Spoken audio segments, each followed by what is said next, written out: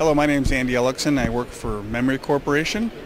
We, uh, we specialize, specialize in nitinol, and we, uh, we're a fully vertically integrated company in nitinol, from the melt uh, to semi-finished forms to engineered components.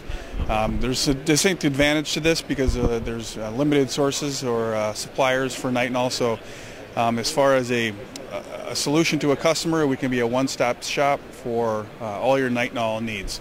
Um, as I said, we, we melt nitinol, we form it into wire, we form it into tube, and these are some, some examples of, of some various different components that we supply also. Uh, we have formed sheet here, we have a wire component that is uh, shape set with the EDM uh, feature on the end and a plasma weld. Uh, we do laser cutting, and we also do um, various different shape setting um, processes. We also do passivation and electropolishing. So if you're a customer that's uh, has a medical application and is, is considering nitinol, we are uh, a good source because we can we can not only develop um, the nitinol from an alloy standpoint, we can also um, provide you with a component for your for your requirements.